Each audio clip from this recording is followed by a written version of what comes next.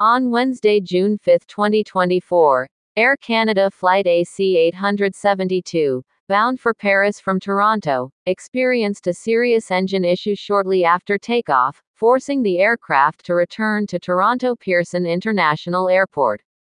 The incident raises concerns about aviation safety and highlights the importance of rigorous maintenance and swift response protocols. Key points are as follows Engine issue.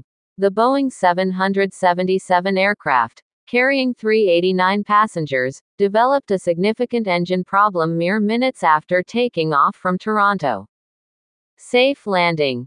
Despite the severity of the issue, the pilots managed to safely land the plane back at Pearson Airport, ensuring the safety of all on board. Passenger recommendation. Air Canada promptly arranged for passengers to be accommodated on a later flight departing Toronto, minimizing travel disruptions. Aircraft grounding. The affected aircraft was removed from service for thorough evaluation and maintenance by Air Canada's technical teams. Investigation. The incident is under investigation by regulatory authorities and Air Canada to determine the root cause and implement measures to prevent similar occurrences. Recent similar incident.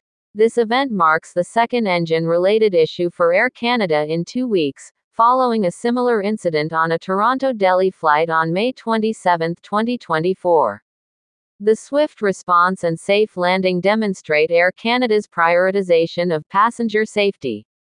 However, the recurrence of engine issues raises questions about maintenance procedures and the need for enhanced quality control measures to ensure the highest level of safety in the skies.